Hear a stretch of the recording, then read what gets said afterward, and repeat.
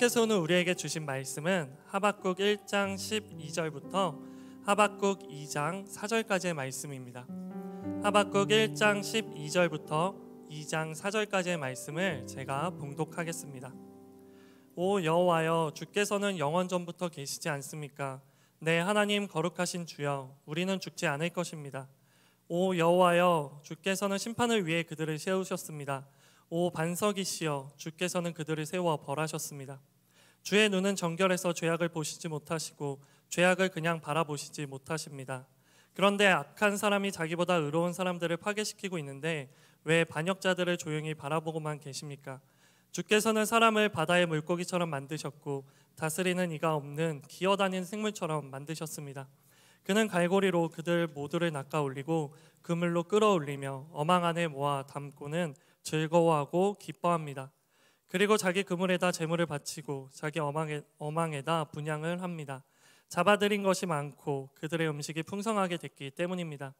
이렇게 그들이 그물을 비우고 계속 무자비하게 민족들을 죽여도 됩니까? 내가 초소에 서서 망대의 자리를 잡고 주께서 내게 무엇을 말씀하실지 내 호소에 주께서 뭐라고 응답하실지 지켜보겠습니다. 그러자 여호와께서 내게 대답하셨다. 이 묵시를 기록하여라. 판에 똑똑히 새겨서 달리는 사람도 읽을 수 있게 하여라. 왜냐하면 이 묵시는 정해진 때가 돼야 이루어지고 마지막 때를 말하고 있으며 반드시 이루어진다. 비록 늦어진다 해도 너는 기다려라. 반드시 올 것이며 지체되지 않을 것이다. 보아라, 마음이 교만한 사람은 의롭지 않다. 그러나 의인은 그의 믿음으로 살 것이다. 아멘.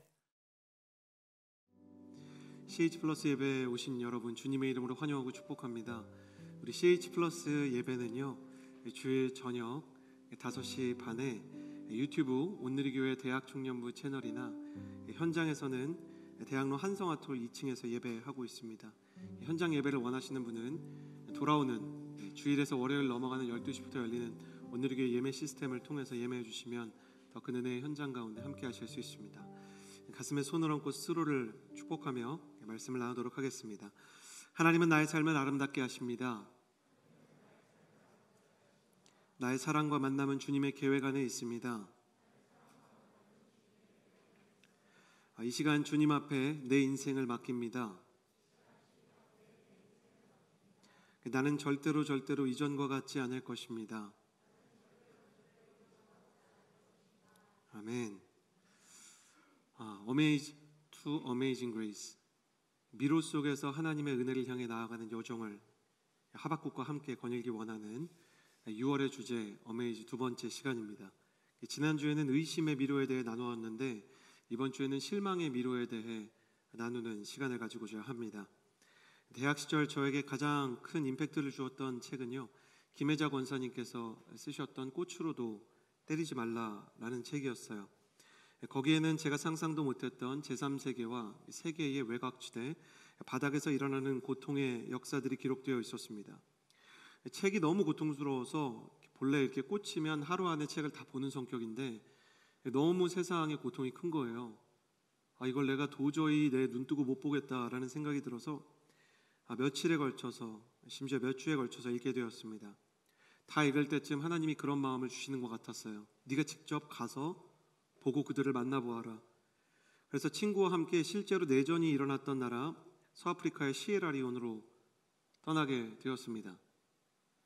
서아프리카의 시에라리온은요 프리, 수도인 프리타운이 있고 우리나라 영종도처럼 섬에 공항이 있거든요. 우리나라 영종도랑 서울은 이제 다리로 연결이 돼 있잖아요. 프리타운은 다리로 연결이 안 돼 있어서 헬리콥터를 타거나 이제 배를 타고 수도에 가야 하더라고요. 선교사님이랑 연락을 해서 어, 한달 반을 있기로 작정을 하고 어, 프리타운 공항에 내렸는데 헬기를 타겠냐, 보트를 타겠냐 선교사님이 이제 사전에 물어보시더라고요. 그래서 약간 또 헬기 타보고 싶잖아요. 그래서 헬기를 타겠습니다. 그랬더니 다 좋은데 헬기가 가끔 추락을 해가지고 얼마 전에 추락해서 관광객이 모조리 전원 사망했다고. 그래서 배를 타고 오라시는 거예요. 그래서 알겠다고 그러고 배를 탔는데 정말 놀랍습니다. 카누에 간이로 무허가로 모터를 달았어요. 그래서 이게 모터가 돌아가는데 배가 무게가 얼마 안 되니까 앞쪽이 들려요. 그 전까지는 왜 이 카누 안에 이그 바가지가 있는지 몰랐거든요. 근데 선장님이 말이 안 통하는데 바로 알려주시더라고요. 물이 너무 많이 들어오는 거예요. 이거를 퍼내지 않으면 갈 때까지 이 배가 침몰하게 되어 있는 구조인 거예요. 그때부터 지금까지 물이 바다 가치라는 찬양을 약간 좋아하지 않습니다.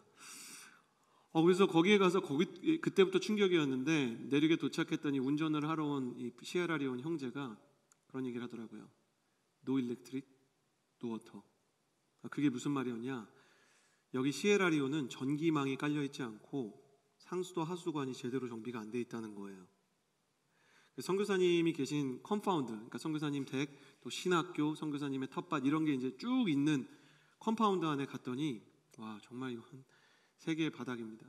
다행히 선교사님의 숙소는 기름으로 이제 그 전기를 돌리는데 기름이 이제 굉장히 비싸니까 이제 촛불을 켜놓고 생활하기 다반사였고요. 말라리아 약, 라리암을 이렇게 많이 먹었는데도 불구하고 이게 약을 너무 많이 먹어도요 말라리아 모기한테 너무 많이 물리면 말라리아가 걸리더라고요.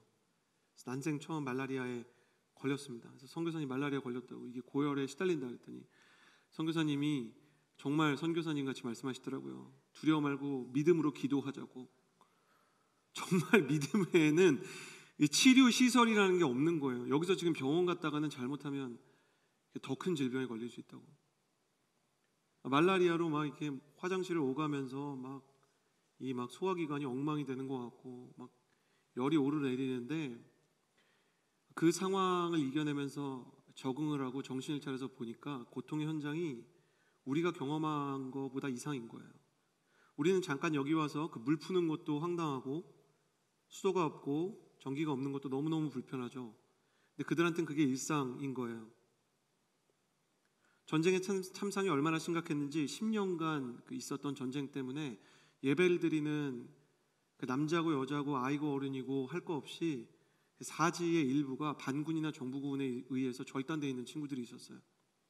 웃으면서 박수를 치는 대신 자기 뺨을 치면서 찬양을 하는데 내가 저걸 보면서 같이 박수를 치면서 찬양해야 될지 터져 나오는 눈물을 어떻게 삼켜야 될지를 모르겠는 거예요. 심각한 기아에 허덕이는 사람들을 만나면서 나는 오늘 저녁에는 과연 과자가 나올 것인가 안 나올 것인가를 고민하고 있는 게 너무 사치스럽고 죄책감스럽게 느껴졌어요. 어, 저희는 선교사님이 계시는 compound에 있었기 때문에 샤워를 할 수 있었거든요. 샤워기가 있는 게 너무 사치스럽게 느껴지더라고요. 샤워기를 틀어놓고 샤워만 하면 저랑 같이 간 친구 둘이서 번갈아 가면서 샤워실 안에서 울었던 기억이 나요. 주님, 우리 숙소에는 샤워기가 있지만 저들에게는 샤워기는커녕 화장실도 없습니다. 화장실 없는 게 무슨 대수냐 싶을 정도로 flying toilet이라고 불러요. 그냥 대충 종이나 잎사귀 같은데 일을 봐서 그냥 밖으로 던지는 거예요. 사방이 오물더미고 오물이 처리가 안 되면 그 질병이 창궐하게 되고 질병이 창궐하니까 그 질병의 창궐을 막아야 되는데 문도 제대로 안 돼 있고 교육도 제대로 안 돼 있으니까 더 큰 참변이 일어나는 현상. 도대체 왜 이런 일이 일어나고 있는 걸까? 답을 할 수가 없더라고요. 리스트로벨과 조지바나라는 기독교 신학자들이 있습니다. 원래는 이분들이 예수님을 안 믿던 분들인데 예수님을 믿으면서 믿지 않는 사람들이 예수님을 왜 안 믿는지 또 무엇이 그들을 괴롭히는지에 대해서 질문을 듣고 답을 하는 이 변증 신학을 많이 하셨던 분들이에요. 미국 전역에서 설문조사를 했는데 신에게 단 하나의 질문만 던질 수 있다면 당신은 과연 어떤 질문을 던지겠는가? 1위는 무려 17%의 사람이 동일한 답을 했어요. 자유, 객관식도 아니고 주관식인데 17%면 굉장히 높은 거죠. 왜 세상에는 악과 고통이 존재합니까? 이런 질문이 제일 많았다는 거예요. 고통과 갈등, 기근과 전쟁, 재난과 사고가 왜 존재하는가? 사람들이 너무 궁금한 것이죠.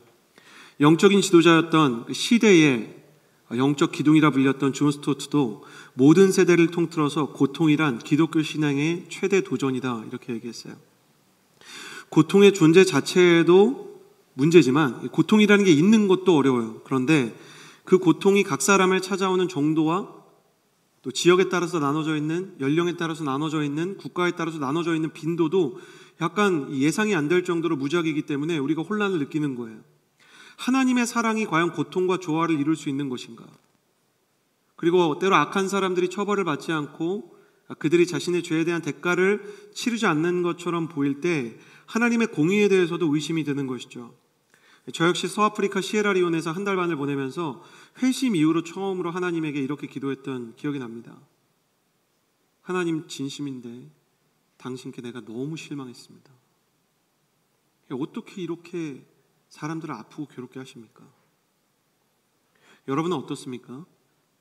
신앙생활을 하면서 나와 혹은 내가 사랑하는 사람들의 인생이 늘 납득이 가십니까? 내 진로에 대해 우리 가정이 처한 현실에 대해 하나님의 뜻이 항상 이해가 되시나요? 혹시 저처럼 하나님께 실망을 하고 세상과 인생의 고통을 보면서 속으로는 탄식과 실망을 하지만 또 그것을 입으로 뱉었다가 더 큰 어려움이 올까봐 두려움 때문에 그것을 삼켜본 경험은 없습니까? 하나님을 믿으면서도 영적인 미로를 방황하는 사람들의 이야기 어메이즈 두 번째 시간은 그래서 이렇게 제목을 정해 보았어요. 하나님, 당신께 실망했습니다. 저는 이런 고백도 인생에서 참 필요하다고 생각하거든요. 이걸 따라할까 말까 많이 망설였지만 저를 따라 주시겠어요? 하나님, 당신께 실망했습니다. 네, 모태신앙 여러분, 목회자가 시켜서 한 거니까 집에 갈 때 혹시 무슨 일이 생길 거라고 염려하지 마시고 실망할 때가 있다는 거죠. 자, 오늘 말씀에서 실망의 선지자, 미로의 선지자 하박국이 다시 하나님께 이렇게 실망감을 표시합니다. 12절과 13절 말씀 같이 한번 읽어보도록 하겠습니다. 함께 읽겠습니다. 시작. 오 여호와여, 주께서는 영원 전부터 계시지 않습니까? 내 하나님 거룩하신 주여, 우리는 죽지 않을 것입니다. 오 여호와여, 주께서는 심판을 위해 그들을 세우셨습니다. 오 반석이시여 주께서는 그들을 세워 벌하셨습니다. 주의 눈은 정결해서 죄악을 보시지 못하시고 죄악을 그냥 바라보시지 못하십니다. 그런데 악한 사람이 자기보다 의로운 사람들을 파괴시키고 있는데 왜 반역자들을 조용히 바라보고만 계십니까? 지난주 말씀을 간단하게 요약하면서 하박국 얘기를 잠깐 상기해 보겠습니다. 하박국이 하나님에게 질문을 던지는 겁니다. 첫 번째 하박국의 질문은 이거였어요.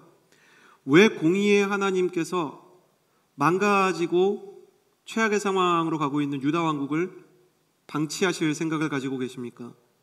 여우야김 치하에서 너무 많은 사람들이 강자에 의해서 핍박을 받고 하나님의 선지자들은 무시를 당하고 우상 숭배가 창궐하고 있었어요. 네, 하나님의 심판을 내리지 않으십니까? 하나님이 쿨하게 오, 아주 시원한 대답을 이렇게 하시죠. 하나님의 대답은 그래. 내가 이방 나라 바벨론으로 유다 왕국을 패망시킬 계획이다. 너 말 잘했다. 너희 나라 엉망이다. 부셔버리자. 어, 근데 하박국이 원한 건 이건 아니었던 거죠. 어, 바벨론의 잔인함은 정말 악명이 높았고 당시에 아예 하나님을 믿는 사람들을 다 죽일 계획을 가지고 있는 사람들이 바벨론 사람들이었거든요.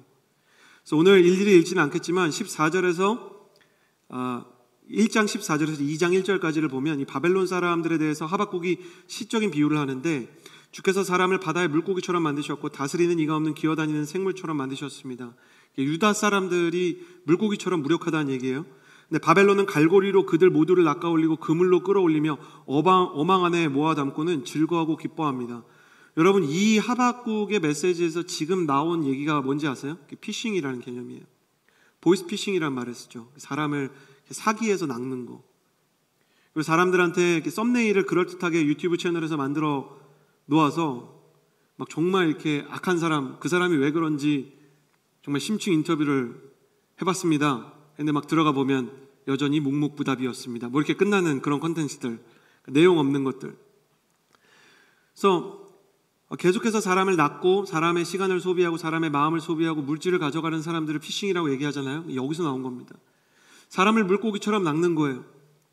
그리고 사람들을 막 뜯어 먹는 겁니다. 그리고 자기 그물에다가 제사를 바치고 자기 어망에다가 분양을 한다. 이건 그냥 우상숭배를 한다는 게 아니라 자기 능력을 신처럼 생각한다. 그 얘기예요. 그 사람들은 한마디로 얘기해서 우리보다 나쁜 사람들이다 이거죠. 이렇게 그들이 그물을 비우고 또 비우고 이스라엘 백성이 이미 다 죽었는데 또 또 데려와서 계속 무자비하게 다른 민족들을 죽여도 됩니까? 이렇게 물어보게 되는 것이에요. 아, 모든 선지자들까지 고통을 받을 겁니다. 하박국의 두 번째 질문은 이건 거죠. 어떻게 유다가 잘못했다고 더 악한 바벨론이 유다를 치게 하십니까? 여호야김마 김이랑 악인들 이 암세포만 잘라내셔야죠. 유다 백성들과 선지자까지 다 고통을 받을 필요가 있습니까? 그들은 선지자를 무시하는 수준이 아닙니다. 이러다 진짜 하나님 믿는 신앙 자체가 없어질 수도 있습니다. 우리로 치면 교회가 다 없어지고 아예 기독교 믿는 사람들이 다 톡될 수도 있습니다. 어, 제가 이걸 보면서 약간 그러면 안 되는데 하박국 이겨라. 하박국 잘한다. 우리를 대신해서 당신이 무슨 심판을 받든 일단 총대를 매줘서 참 고맙다. 그런 생각이 드는 거예요. 하나님 안에서 제가 이 문제를 계속 고민하면서 보니까 제 안에도 이런 마음들이 있는 거죠. 때로는 하나님의 사람들이 고난을 받을 때, 고통을 받을 때, 그 하나님의 사람보다 더 악한 사람한테 고난을 받을 때가 있어요. 다윗이 사울에게 핍박을 받는 것처럼. 물론 다윗이 잘못했죠. 그러나 그 아들 압살롬은 다윗보다 더 나쁜 사람입니다. 근데 압살롬에 의해서 다윗이 추격을 받는 걸 보면 너무너무 안타까운 거죠. 요셉이 형들에 의해서 고통을 당하는 장면을 볼 때도 그렇고 실제로 잘못을 했다 해도 이스라엘 백성이 바로와 같은 사람에게 고통을 받는 장면들을 볼때 어, 고통스러운 거예요. 하나님 도대체 세상을 왜 이렇게 악하게 만드셨습니까? 라는 생각이 들기 시작할 때 하나님께서 이번 주에 저에게 다시 한번 처음으로 돌아갈 수 있는 힘을 주시더라고요. 여러분, 문제가 생기면 처음으로 돌아갈 때가 돌아가야 될 때가 있거든요. 우리가 어디서부터 이렇게 잘못되었는지, 뭐가 이렇게 망가졌는지. 제가 오늘 셔츠를 입고 있잖아요. 첫 단추를 잘못 깨면 밑에 있는 단추는 줄줄이 잘못 깨게 돼 있잖아요. 그러니까 어디가 이 문제의 첫 단추인지를 찾기 위해서 성경의 최초로 돌아가 보니까 하나님이 처음부터 세상을 고통스럽게 만들지는 않으셨더라고요. 창세기를 보면 세상은 하나님의 눈에도 아름답고 완전하게 창조되었다라고 기록되어 있습니다. 하나님께서 세상을 보실 때 보시기에 좋았더라, 아름다웠더라. 어, 그런데 하나님께서 세상을 완벽하게 만들어서 우리에게 주시고 다만 선과 악을 알게 하는 사실 선과 악을 알게 한다는 뜻이 아니라 선과 악을 규정하는 나무의 열매는 먹지 말라고 하셨어요. 왜 하나님께서는 선악과를 만드셔서 사람을 유혹의 가능성 가운데 두셨는가? 어, 이 가운데 한 절반쯤은 저랑은 완전 다른 성향일 것 같아서 좀 공감이 안 되실 수도 있는데 그 고등학교 때 1학년 때 꼭 입학식을 하면 학생주임 선생님이 그런 얘기를 하시는 거예요. 저쪽 담은 절대 넘지 말라고. 그럼 너무 넘고 싶어요. 머리 염색하지 말라고. 그럼 꼭 염색을 하고 싶어요. 머리를 빡빡 밀지 말라고. 그럼 꼭 빡빡 밀고 싶어요. 하지 말라 그러면 하고 싶은 사람들 있잖아요. 어, 왜 그럴까? 성경적으로 하나님의 마음을 따라가 보면 우리를 괴롭히고 우리를 유혹 가운데 처하게 하시려고 하는 게 아닙니다. 하나님은 사람에게 모든 존재의 이름을 붙일 권한을 주셨잖아요. 그 정체성과 자존감을 사람이 정해주는 거예요. 넌 고래다. 그럼 고래인 거예요. 여러분 이름을 붙이는 어떤 회사의 이름을 붙이는 건 오너가 하죠. 그리고 자식에게 이름을 붙이는 건 절대적인 양육권을 갖고 있는 부모가 아이가 가장 연약할 때 붙일 수 있는 거잖아요. 게다가 하나님이 인간이 이름을 붙일 때 결제를 받지도 않으시고 사람이 세상을 관리할 때 크게 간섭도 안 하셨어요. 하나님이 믿고 사람에게 많은 걸 맡기시고 자유를 주셨단 말이에요. 인간은 막대한 권무, 권한을 선물로 받았던 거죠. 근데 단 하나 허락되지 않은 게 바로 이 선악과예요. 아, 아까 이야기한 것처럼 원어로 선악과는 성과 악의 기준을 정할 수 있는 권한을 갖는 나무예요. 인간은 그 나무 앞에서 선과 악의 기준이 어디에 있다는 것을 묵상하게 되냐면 하나님께 있다는 걸 묵상하는 겁니다. 그러니까 내가 다른 건 다 할 수 있는데 선과 악의 기준은 하나님께 있다는 것을 생각할 수밖에 없는 거예요. 또 내가 할 수 없는 일이 있다는 것으로 인해서 매우 단순한 걸 배우게 되는데 내가 하나님이 아니라는 거죠. 나는 피조된 존재고 위임받은 존재다. 여러분 펀드 매니저가 수억 원, 수십억, 수백억의 돈을 굴릴 때가 있잖아요. 근데 그 돈 자기 거인 줄 알면 그 사고 나는 거 아닙니까? 그 사람을 믿고 이렇게 맡겼을 때 그 사람에게 신뢰를 부여한 사람들에 대해 책임을 다해야 되는 의무가 있지 않겠어요? 근데 그 기록 자체를, 자체를 삭제해야, 삭제하려고 한다. 내가 돈 맡긴 기록을. 여러분 그 펀드 매니저가 어떤 사람일 거라고 생각합니까? 그래서 예배 신학자 마르바 던이 뭐라고 얘기하냐면 여성 신학자이신데 이 전에는 제가 이런 말을 들어본 적이 없어요. 너무 훌륭하세요. 얼마 전에 이제 소천하셨는데 꼭 한번 읽어보시기를 바래요. 마르바 던 신학자의 책들은 선악과는 인류에게 최초로 허락된 예배의 처소였다 이렇게 얘기해요. 가면 그곳에서 하나님을 기억할 수밖에 없는 거예요. 아, 내가 하나님이 아니구나. 나 내가 하지 말아야 되는 일이 있는 거구나. 내 마음대로 내 생각대로 내 감정대로 해서는 안 되는구나. 내 기분이 내 태도가 되어서는 안 되는구나. 내게 절제가 필요하구나. 그런 생각을 가지게 하는 것이었어요. 그럼에도 불구하고 인간은 결국 선악과의 열매를 먹습니다. 인간은 왜 선악과를 먹었을까? 간단합니다. 하나님께서 선물한 완벽한 세상, 에덴 동산은 마음에 드는데 그 세상을 만든 신은 부담스럽게 느껴지는 거예요. 내가 내 마음대로 이제 막 아까 펀드 매니저 얘기를 했지만 막 돈을 다룰 수 있는 게 너무 좋은데 돈을 맡긴 사람들에서 벗어나고 싶은 거예요. 이때부터 위험해지는 게 아니겠어요? 창세기 3장 5절에 뱀이 찾아와서 유혹을 하는데 너희가 그것을 먹는 날에는 선과 악을 아시는 선과 악의 기준을 세우는 하나님처럼 될 것이다. 그러니까 그 돈 다 네 거 되는 거야. 너 이제 펀드 매니저 아니고 진짜 갑부 되는 거야. 얘기하는 거예요. 인간이 원한 건 간단한 거예요. 하나님 없는 에덴 동산. 하나님께서 만드신 세상에 대한 통제권도 가지고 싶고 하나님이 만드신 음식도 먹고 싶고 하나님께서 주신 생명도 사람도 사랑도 다 누리고 싶어요.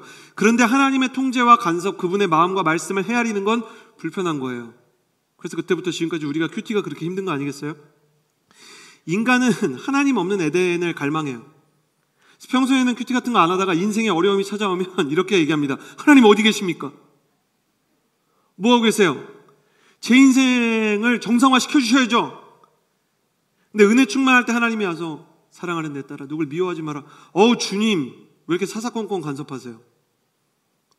하나님이 너무 많이 다가오시면 하나님이 부담스럽고 하나님이 어려울 때 돌봐주지 않으면 내 마음이 너무 처량하고 소외된 것 같고 그러니까 이래도 저래도 내 인생 가운데는 불명과 불, 불만과 불평이 있는 거예요.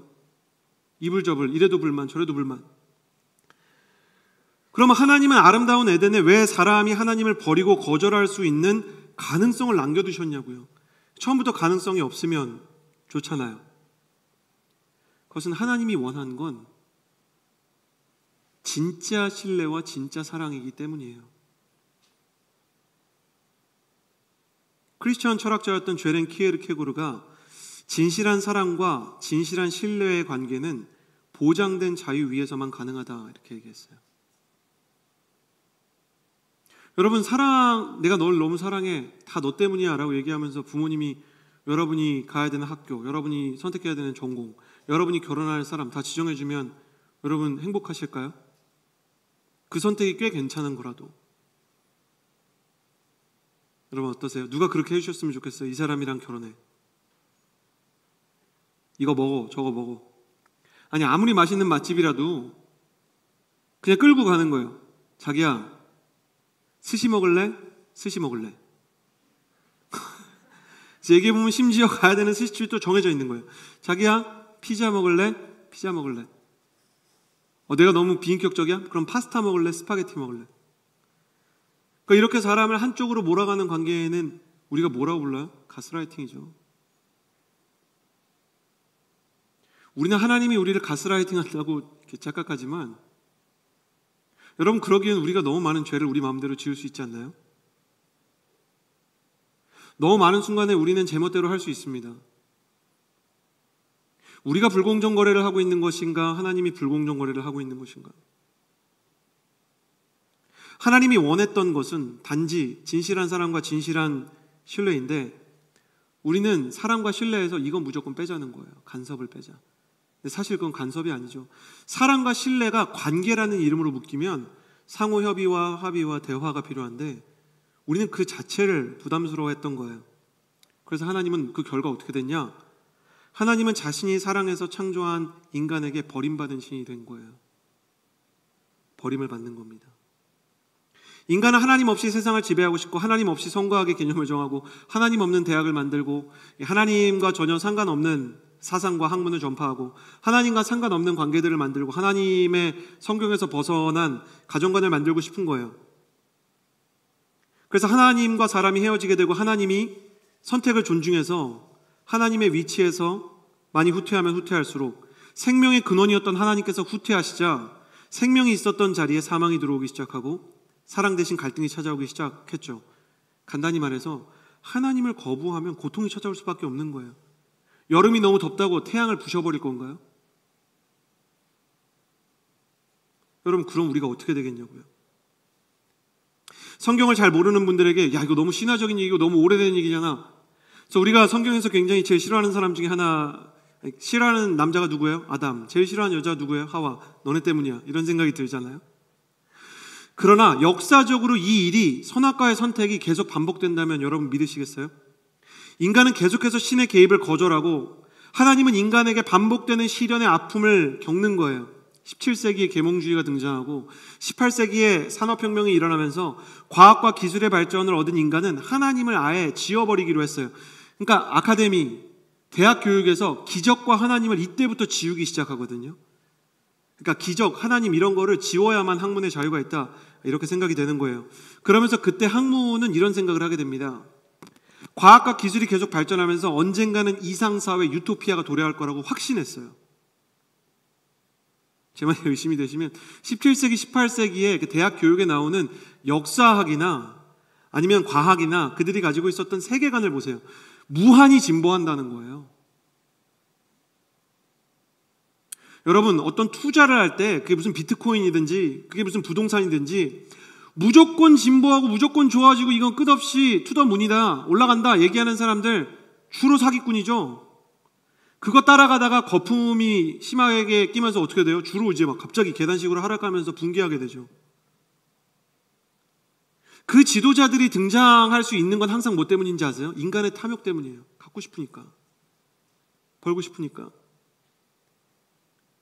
그러니까 무한히 진보할 수 있다는 희망 속에 뭐가 있었냐면 신을 버리고 싶었던 욕망이 막 가동되기 시작하는 거예요. 그래서 이 시기에 가장 많은 지지를 받았던 신학이 뭐냐면 자유주의 신학인데 이 자유주의 신학을 자유주의 신학자분들 이렇게 나누면 또 막 단순화시킨다고 저한테 또 매일 쓰시겠지만 저는 이게 사실이라고 봐요. 영국 쪽이랑 독일 쪽으로 이렇게 나눠서 얘기할 수 있어요. 영국은 뭐냐면 하나님이 계시긴 한데 시계공이래요. 실제 이렇게 비유를 했어요. 하나님이 시계를 만들어 놓고 세상을 던져놓고 본인은 여행 가셨대요. 시계 안에서는 뭐가 제일 중요하냐면 자연 법칙이 제일 중요한 거예요. 독일에서는 더 적극적이에요. 뭐라고 얘기하냐면 성경의 기적은 비유에 불과하다. 태양이 멈춘다든지 뭐 홍해가 갈라진다든지 자연과학적으로 일어날 수 없는 일이다. 처음엔 그렇게 시작했고요. 결말은 결국 뭐였는지 아세요? 예수 그리스도의 부활은 없다. 이상사회 유토피아는 우리가 만든다. 이게 누구 얘기랑 똑같아요? 아담 얘기랑 똑같은 거예요. 해 아래 새 곳이 없습니다. 소름 돋을 정도로 반복되고 반복돼요. 그러나 과학과 기술의 발전을 거쳐서 유럽 세계는 뭘 만나게 되는지 아세요? 학문과 문화의 중심이었던 유럽 세계는 1차 세계대전을 만나게 되죠. 1914년에 발발한 1차 세계대전으로 유럽에서만 500만에서 900만이 죽었어요. 이게 통계에 따라서 굉장히 다른데 심지어 어떤 사람은 유럽이 전 인구의 4분의 1이라고 봅니다. 여러분 대한민국 인구가 5천만이면 1250만이 죽은 거예요. 상상이 되시나요? 1250만. 코로나에서 죽은 사람이 국가 전체 인구의 10%가 안 되잖아요, 우리나라에서. 그런데도 지금 우리가 이 공포에 시달리는데 25%가 죽었어요. 그리고 나서 그래도 정신을 못 차립니다. 독일 신학자들 말했죠. 예수 그리스도 예, 부활은 없다. 그래서 뭐 약간 어떤 얘기가 나오냐면 예수 그리스도의 정신을 계승하는 어디서 많이 들어본 얘기 있으실 거예요. 대학 교육에서 약간 자유주의 신학적인 역사관을 배운 분들 다 이렇게 배웁니다. 뭐 해방 신학이라든지 어떤 소수자 신학 이런 거 배운 분들 다 이런 쪽으로 갑니다. 시대마다 해방을 시키는 메시아들이 있다는 거예요. 이게 처음에 어디서 나왔는지 알면 기겁하실 거예요. 이 신학의 최초의 구원자가 누군지 아세요? 히틀러입니다. 하일 히틀러라는 말에서 하일이 구원자예요. 독일 민족이 1차 대전에서 패망했으니까 계속 인플레가 높아지고 화폐가치 떨어지고 막, 아, 막 배추 한 포기 살라 그러면 막 수백만 원이 들고 너무너무 힘들고 자존감이 떨어지는데 히틀러가 나타나서 막 재벌들을 해체시키고 공산주의 문명 가져오고 이러니까 사람들이 막 살판 난 거예요. 이 사람이 우리나라를 우리 민족을 이끌어 주겠구나. 하일 히틀러라는 말을 교회에서 만들어 줬어요. 히틀러가 이 시대에 누구라고요? 예수님이라고. 이해가 되시나요? 여러분 예수님 건드리면 그래 교회도 잘못이 있지 이러는 분들이 정치 지도자나 무슨 아이돌 건드리면 그건 안 되지 이런 분들 계세요. 여러분 정신 차리셔야 돼요. 계속해서 반복되는 게 있어요. 하나님의 자리를 대체하는 신화적인 인간들, 신화적인 사상들이 있다니까요. 인간끼리 유토피아를 만들려고 하는 에덴 동산의 이 얘기가 영원히 반복될 거예요. 여러분 인생에서. 하나님의 이야기를 공격하고 그 자리를 사상과 그 자리를 논쟁과 토론으로 대신하려고 하는 수많은 사람들이 여러분 편 들면서 들어올 거라고요. 히틀러가 왜 지지를 받았어요? 독일 사람들의 편을 들어주니까. 그래서 구원자인 거예요. 근데 2차 세계대전을 했는데 더 많이 죽었죠. 핵무기가 떨어지고 정말 무고한 시민들이 너무 많이 죽는 것을 보게 됐을 때 사실 그때부터 스물스물 사상과 문화와 예술을 다 잡아먹기 시작한 사조가 뭐예요? 포스트 모더니즘입니다. 그러니까 실존주의 철학, 공산주의와 같은 전통적인 전통적인 그래도 진리는 있다. 이것까지 다 무너지는 거예요. 이제는 점점 점점 냉전 시대를 지나서 뭐예요? 허무와 고독, 소외 외에는 세상에 뭐가 없다는 거예요. 1970년대, 80년대 대학에서 가장 많이 가르쳐졌던 이론이 인간은 던져진 존재예요. 어디에? 고통에. 근데 이게 프랑스 철학자 말인데 너무 당황스러워요. 말 굉장히 멋있게 하는데 부처님이 했던 말이랑 뭐가 다르냐고요. 고해를 헤맨다 그러잖아요. 고통의 바다를 헤맨다. 하박국이 한 얘기랑 뭐가 다르냐고요. 뭐 자꾸 새로운 척을 해요.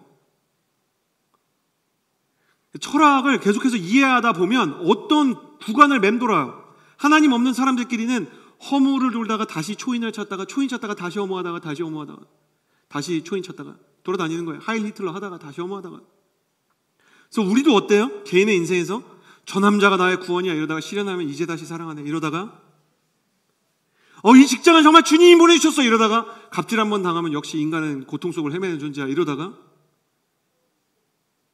정말 이렇게 상처받은 어떤 교회에서 CH 플러스에 처음 왔을 때는 와 진짜 오늘 이게 너무 좋다 이러다가 오늘에게서 또 이상한 인간 군상 한 명 만나고 역시 인간은 다 죄인이야 이러다가 무한히 돌아다니는 굴레를 헤매는 거죠. 세상은 온통 고통이며 희망을 찾을 수 없다. 내 마음대로 살겠다고 하나님을 버려놓고 이제는 뭐라고 하냐. 다시 또 결과에 대해서는 하나님한테 책임을 묻는 거예요. 하박국 훌륭합니다. 20세기, 21세기를 꿰뚫고 계세요. 신이 있다면 세상이 이럴 수 있냐. 갑자기 또 이러는 거예요. 누가 보면 2차 세계대전 하나님이 일으키셨는 줄 알겠어요. 여러분, 2차 세계대전 어떻게 히틀러 같은 인간이 있냐라고 얘기하죠. 지지자가 없는데 전쟁이 일어납니까? 자본가들이 없고 투자자들이 없는데 일어납니까? 버블 붕괴가 정말 막 자산 가치가 이렇게 올라가다가 막 너무 거품이 껴서 떨어질 때 인간의 탐욕이 없고 내가 그 탐욕 때문에 여기 들어가지 않았으면 그 떨어지는 낙차에 쇼크를 받겠냐고요. 근데 끝까지 나는 잘못은 없는 거예요.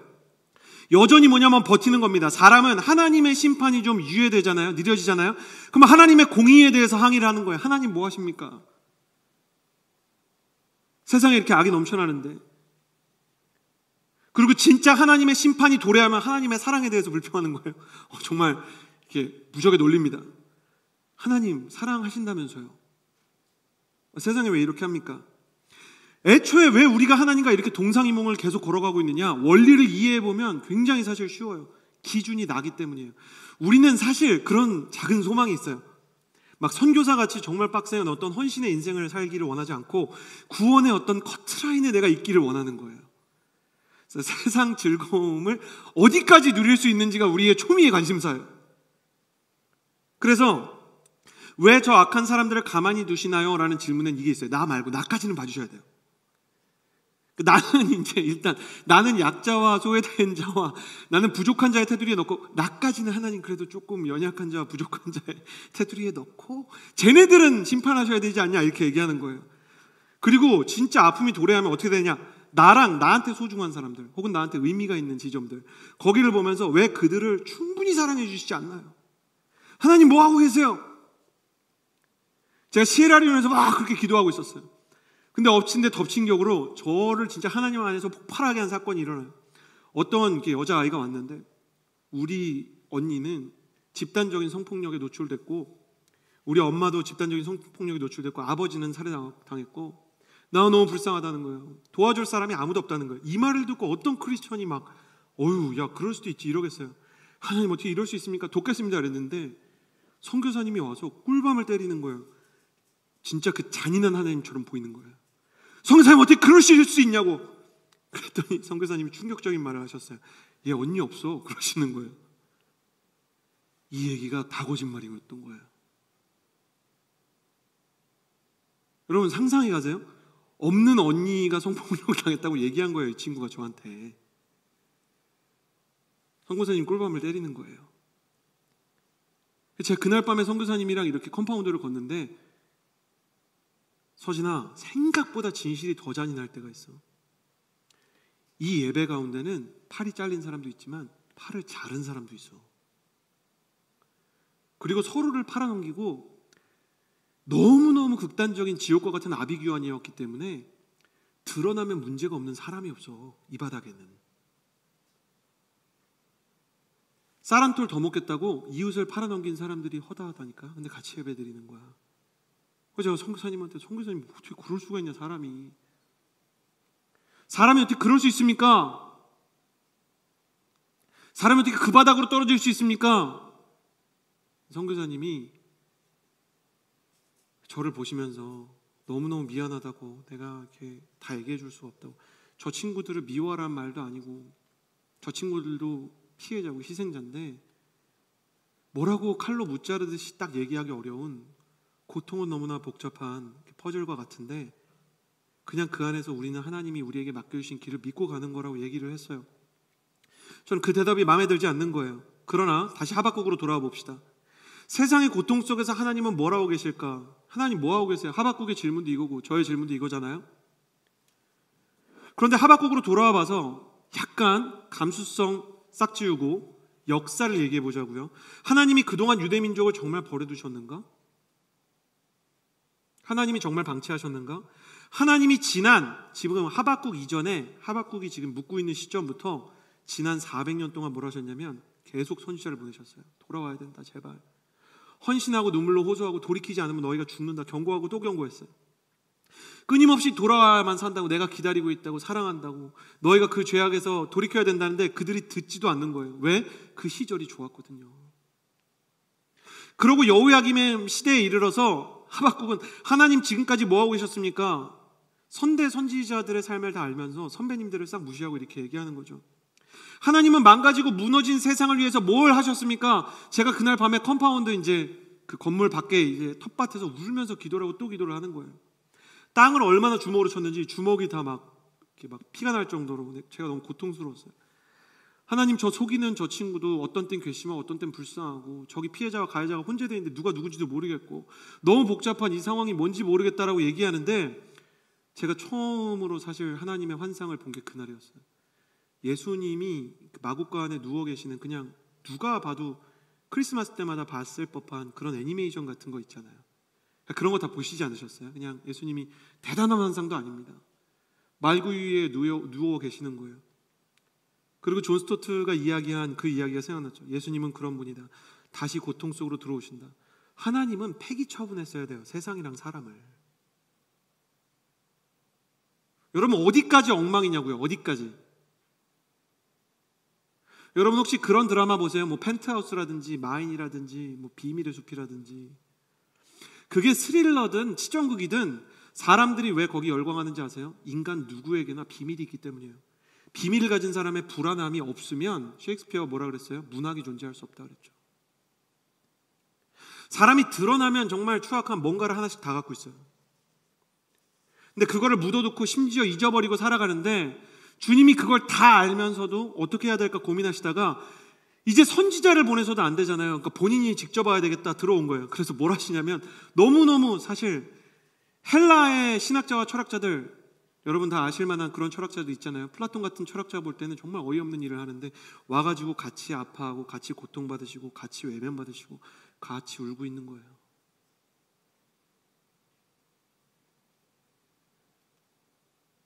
어, 제가 그날 선교사님을 보고 이런 걸 봤다 그러는데 선교사님이 뭐라고 얘기해야 될지는 모르겠는데 내가 너한테 해줄 얘기가 있다는데 잊혀지지 않는 거예요. 시에라리온에서 전쟁이 났을 때요. 유엔 직원들, 주재원들, 서아프리카 시에라리온에 있던 모든 외국인들이 다 자국으로 돌아갔어요. 프리타운에서 남아 있었던 아시아인이 한 명인데 그 선교사님이에요. 도망가지 말라 그랬을 때 하나님이 뭘 하냐 했는데 할 게 없고 그냥 도망만 가지 말라 그랬대요.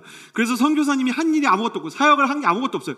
그냥 총알 피해 도망치고 이분이 그냥 누구 이렇게 좀 다치면 붕대 싸매주고 이분이 뭐 대단한 걸 할 수가 없잖아요.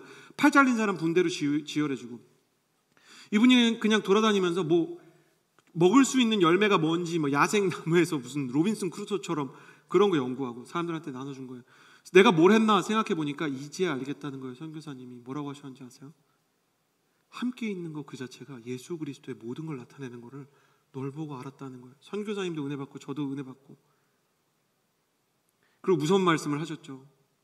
하나님이 혹시 너를 고통의 현장으로 부르시고 계신 건 아닐까? 오, 오, 주님. 여러분, 그래서 너무 극단적으로 가시면 안 돼요. 어, 적당히, 아, 주님 만족합니다. 이렇게 해야 되는데, 오, 이건 아니, 아니다. 제가 지금도 무리바다 덮음 같이와 함께 제일 부담스러운 찬양이 그걸 하면 제일 싫어하는 성경 구절 주 하나님이 우리와 함께 계시다. 임마누엘.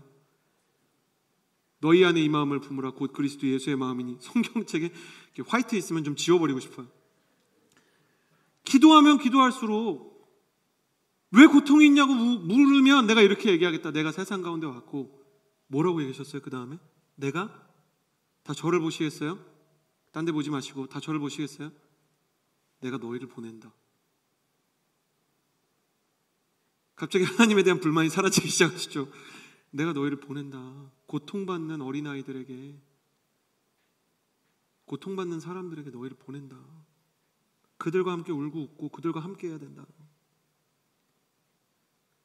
그래서 너가 책 한 권 읽고 여기까지 온 것 자체가 정말 나를 만나기 위해서 온 게 아니냐. 그래서 주님이 땅 끝으로 가보니까 땅 끝에 계시더라고요. 그 나라에서 선교사님 한 분을 일부러 떠나시지 않게 하면서 17년을 사역하면서 그분이 내린 결론이 있었어요. 그게 뭔지 아세요? 이 아이들에게는 먹을 양식을 던져주는 게 아니라 교육이 필요하다고. 진짜 한국에서, 미국에서, 정말 YM에서 정말 최고급 작물들 심으면, 서아프리카 땅은요, 심으면 다 나요. 그게 뭐든지 다 나요. 쌀을 넣으면 쌀이 나고, 그러니까 식량난을 걱정할 게 없으니까 씨앗을 줬더니 어떻게 했는지 아세요? 볶아 드셨어요.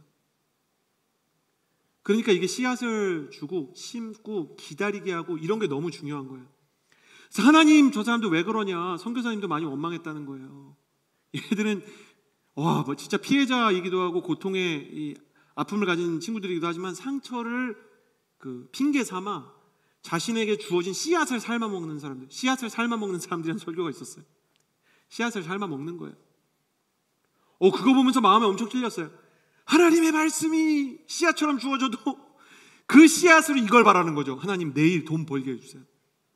그러니까 이 씨앗을 삶아 먹을 생각을 씨앗 주신 하나님 관심 없고, 그러니까 이분이 아이들 꼴밤을 때리고 공부해야만 뭘 해주고, 제가 처음에 이분 율법주의자 아닌가 이렇게 생각했는데 그게 아니라 사람을 훈련시키고 변화시키시기로 작정하시더라고요.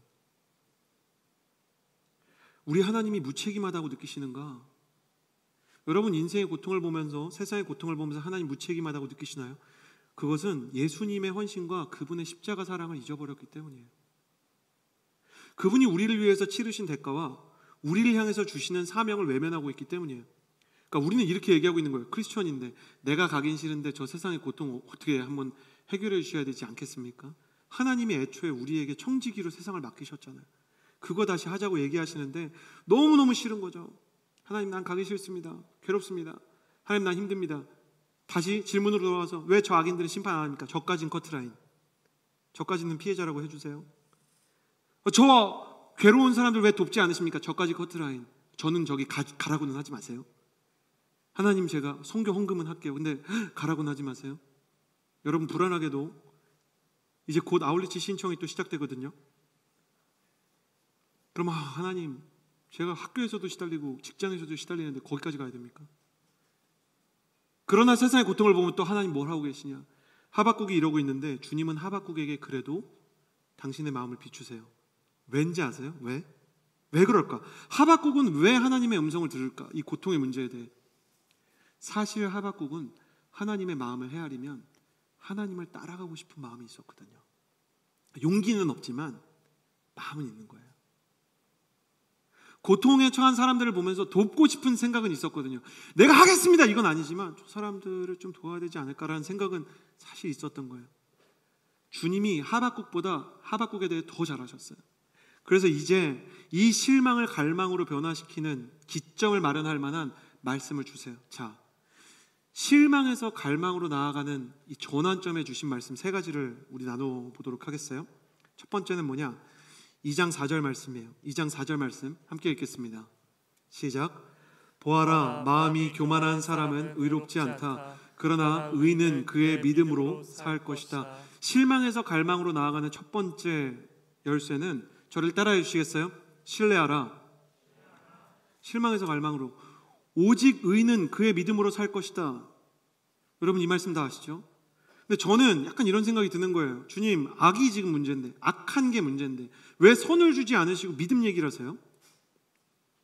아니, 악하면 선을 해야죠. 선을 행해야죠. 이게 율, 법 아닙니까? 근데 왜 율법이 아니라 믿으라고 얘기를 하십니까? 다시 창세기부터 아까 했던 이야기를 다시 생각해 보면 인간의 악의 뿌리가 악행이 아니라 악행이라는 건 악이라는 건 열매고 뿌리가 오염된 거예요. 토양이 오염된 거예요. 땅이 오염되면 땅에 막 우라늄이 가득하면 핵물질이 가능하면 아무리 좋은 묘목을 심어도 소용이 없잖아요. 인간의 악의 뿌리가 아까 얘기한 것처럼 하나님을 떠난 것이기 때문이에요. 하나님 없이 에덴 동산 만들게요. 그러니까 지금도 하나님 없이 에덴 동산 만들게요. 이렇게 얘기하면서 막 와, 약자를 위해 싸우겠다. 그러다가 나중에 알고 봤더니 더 뒤가 지저분한 정치인들, 더 뒤가 지저분한 운동가들 우리 맨날 보고 있죠, 요즘에.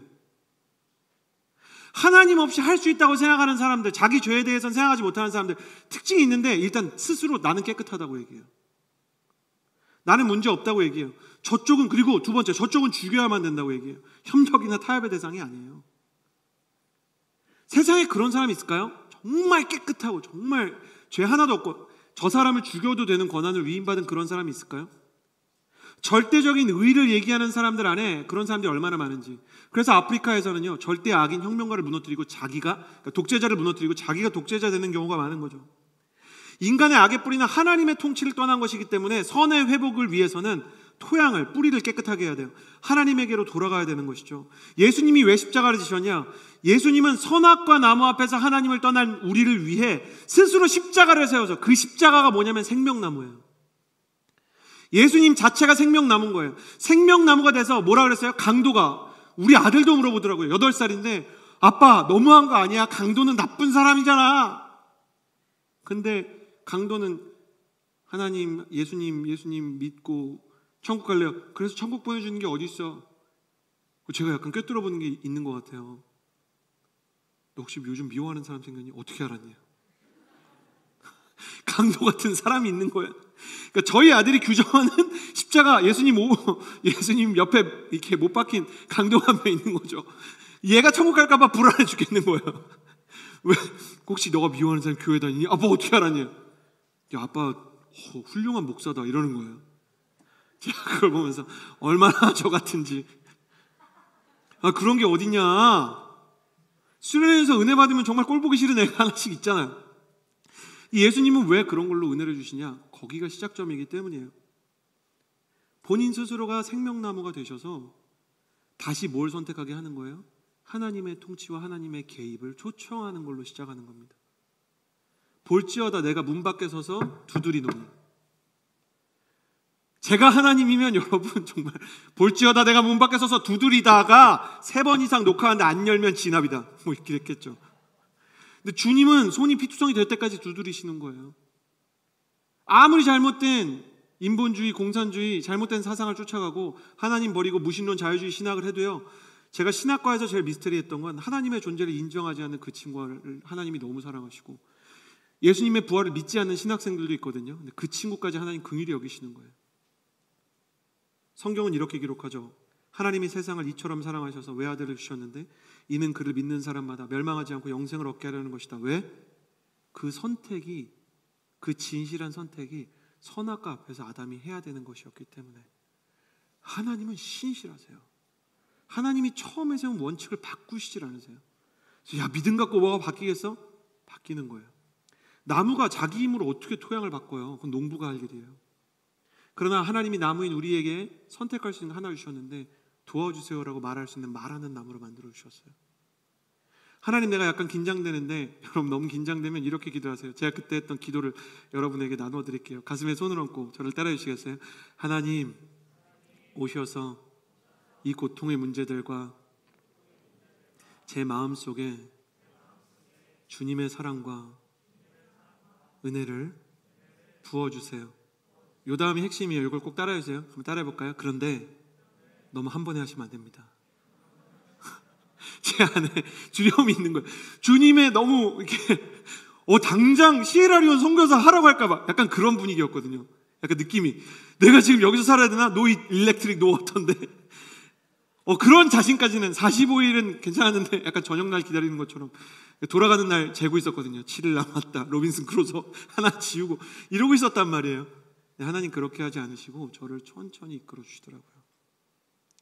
자, 실망에서 갈망으로 나아가는 두 번째 원리. 그러면 하나님이 천천히 가야 하는 우리를 위해서 뭘 얘기하시냐? 2장 2절 말씀 같이 한번 봅시다. 2절 함께 읽겠습니다. 시작. 그러자 여호와께서 내게 대답하셨다. 이 묵시를 기록하여라.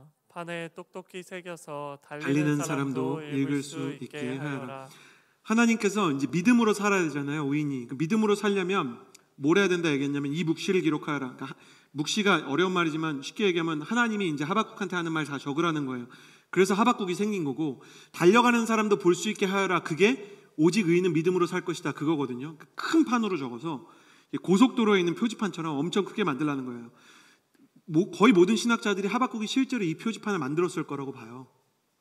그러니까 만들었다는 거예요. 하나님의 말씀을 잊지 말고 하나님을 향한 믿음을 주는 말씀들을 늘 영혼에 새겨두고 기록하라는 것이었죠. 큰 판에 새겨서 달리는 사람도 읽을 수 있게 하여라. 이재훈 목사님이 이것에 대해서 뭐라고 얘기하셨냐면 하나님의 말씀은 우리가 달리는 상황 가운데도 읽어야만 합니다. 어떠한 위기와 심각한 상황 속에서도 읽어야 합니다. 그 말씀 속에 우리의 살 길이 있고 우리의 생명이 그 안에 있기 때문입니다. 그래요. 달릴 수밖에 없는 바쁜 때 있죠. 진짜 내 인생에서 생명의 삶 펼칠 정말 여유도 없는 그런 상황일 때를 위해서 주님께서 하박국한테 하나만 쓰라 그랬잖아요. 오직 의인은 믿음으로 말미암아 살 것이다. 이렇게 표지판만 만들라고 하셨잖아요. 저희 중보기도 팀장이 가끔 이렇게 말씀을 묵상하는 거 올리는데 말씀 묵상의 길이가 어, 전에 임원 성길 땐 길었거든요. 근데 요즘에 이제 절박해서 막 굉장히 짧아지기 시작했다가 인생 가운데 하나님의 은혜가 필요한 사건이 생기니까 놀랍습니다. 다시 이 묵상이 길어지기 시작하더라고요. 그래서 어떤 친구가 그거를 지적했어요. 오, 묵상이 길어지기 시작한다. 자, 말씀 큐티하는 게 너무 어렵습니다. 이런 분들 계시죠? 너무 공감합니다. 특히 오늘부터 뭐가 시작됐어요? 생명의 삶? 성막 건축. 제일 어려운 게 족보 건축 레위기죠. 족보 나오거나 건축 나오거나 레위기 나오면 이건 큐티가 안 되는 거예요. 그래서 하나님이 저를 책임질하셔서 3분 성막 해라. 3분 만에 큐티를 끝내줘야 된다. 달리면서도 볼 수 있게 해라. 저는 확신합니다. 지하철 안에서도 보기에 적합하고요. 두 정거장 정도면 볼수 있어요.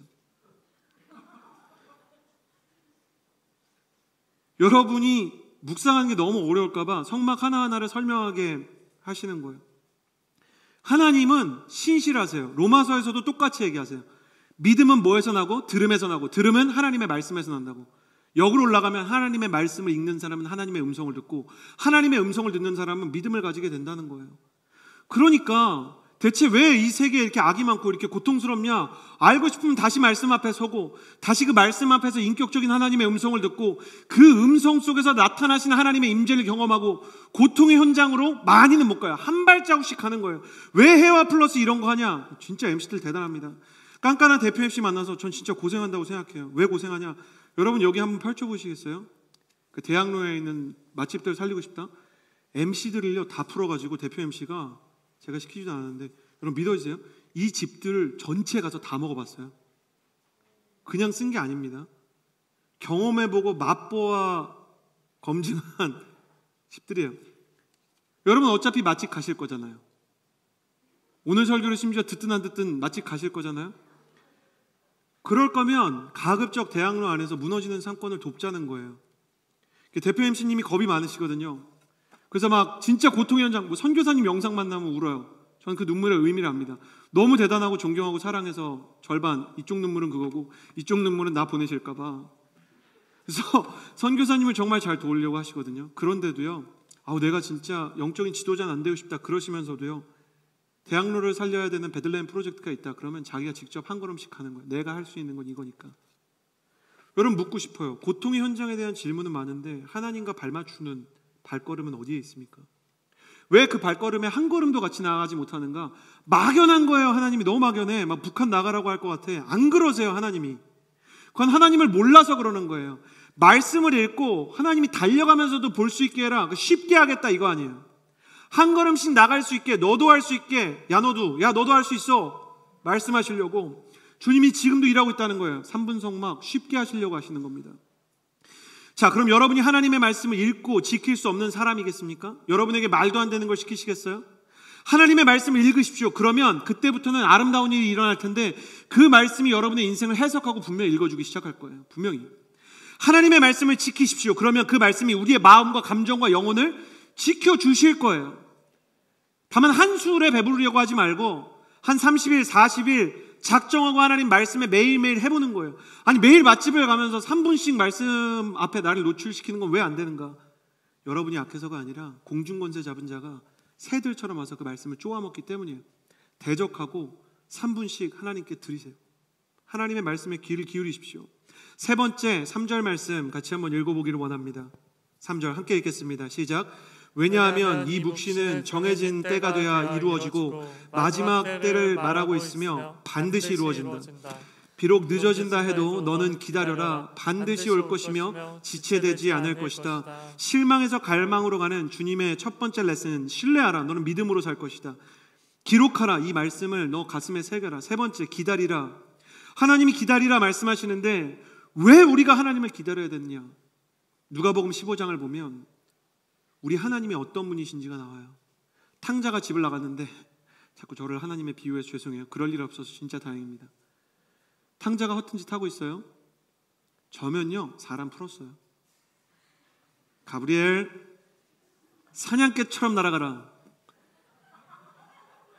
미가엘 회복될 수 있을 정도면 다리 몽둥이 하나 부러뜨리는 건 상관없다. 돼, 뭐 돼지 쥐염 열매? 내 저럴 줄 알았다. 쥐염 열매도 주지 마 내일부터는. 하나님은 그렇게 안 하시죠. 하나님이 원하는 게 뭐라고요? 신실하시다니까요. 진실한 사람과 인격적인 신뢰. 자기 발로 돌아와야 되니까. 아버지는 매일 발을 동동 구르면서 그냥 마을 어귀에서 기다리시는 거예요. 내가 널 기다릴게. 이 기다림이 뭘 보여주냐면 하나님의 무력함을 보여줘요. 실제로 하나님이 능력이 없어서가 아니라 나를 너무 사랑해서 무력하기로 작정하신 하나님. 캐나다에 저희 그 아이들을 데리고 갔더니 저 진짜 깜짝 놀랐어요. 저희 아버지가 원숭이 흉내를 내고 막 코끼리 흉내를 내시더라고요. 전 너무 낯설었어요. 어 그렇게 젠틀맨이시고 그렇게 어 이렇게 큐티 리더 하시고 찬양 인도 하시던 분이 막 웃기기 막 이러고 있으니까 약간 공황장애 올 것처럼 내가 정말 못 볼 꼴을 본 것처럼 느껴지는 거예요. 근데 아버지가 너무너무 손주들이 예쁜 거예요. 저희 아버지가 뭐 원숭입니까? 아니잖아요. 손주를 위해선 그럴 수 있는 거죠. 하나님이 무능력합니까? 사랑하기 때문에 기다려주는 거죠. 기다려주는 거예요. 연행하지 않고, 권한 남용하지 않고. 여러분 한번 생각해 보세요. 그러면 세상에 정말 악이 없는 세상 원하면 여러분 이런 거 원하세요? 무슨 죄 한 번 지을 때마다 누구 미워할 때마다 나와봐. 그래서 하루에 막 하나님이 한 30번씩 임재하시는 거예요. 오 그런 생각을 하다니 쓰레기구나. 회개해라. 여러분 그런 직장 상사 좋아하세요? 디자인해 주세요. 그리고 와가지고 옆에 앉아 있는 분? 그 좋아하세요? 어 거기 좀 더 파란색. 뭐 이런 거 좋아하세요? 마이크로 매니징이 리더가 할 수 있는 최악의 일이잖아요. 여러분 부모님이 그러셨으면 좋겠어요? 막 연애하는데 뒤에서 미행해. 여러분 그러셨으면 좋겠어요? 그래서 하나님이 기다리면 또 기다린다고 안 찾아온다고. 하나님은 내 발로 돌아오시기를 원할 뿐인데 돌아오면 안아줄 준비가 되어 있는데 왜 우리가 하나님을 기다려야 되냐고요? 우리가 하나님께서 우리를 기다리시기 때문에 우리가 기다림을 통해서만 하나님이 누구이신지를 알 수 있기 때문에 그래요. 기다려 봐야 합니다. 그 기다림 속에서만 하나님의 마음을 알 수 있는 거예요. 어떤 사람을 기다리는 것도 기도 응답을 기다리는 것도 그게 하나님의 본성, 하나님이 선택한 무력함이라는 걸 우리가 그걸 통해서 헤아리고 닮아가게 되는 거예요. 진짜 크리스천이 되는 길이죠. 하박국한테 기다리라고 말하는 이 행간에 저는 기다리시는 하나님의 모습이 보였을 거라고 믿어요. 하나님이 나를 기다리셨구나. 내가 말도 안 되는 소리 하는데 들어주시는구나. 하나님이 우리 민족에게 400년 동안 선지자를 보내셨구나. 이제 예수님을 보내실 거구나. 그래서 이 다음에는 하나님의 임재와 말씀으로 인해 그의 마음이 온통 바뀌게 되는 겁니다. 저는 이 짧은 한 시간을 통해서 여러분의 인생 가운데 이 고통의 문제와 여러분의 모든 미로가 다 해결될 거라고 전혀 그렇게까지 기대하지는 않습니다. 다만 오늘 이 말씀을 계기로 여러분이 하나님께로 돌아가기로 다시 결단하게 되기를 바랍니다. 주님 주님 안에서 당신이 나를 어떻게 기다리시고 얼마나 수고하셨는지 그리고 다시 한번 십자가의 은혜와 예수님의 헌신이 무엇인지를 알게 해 주셔서 주님이 손 놓고 계신 게 아니라는 걸 알게 해 주시고 내가 주님을 좀 이해하게 해 주십시오라고 기도할 수 있는 하나님의 사람 되기를 바랍니다. 우리 같이 기도합시다.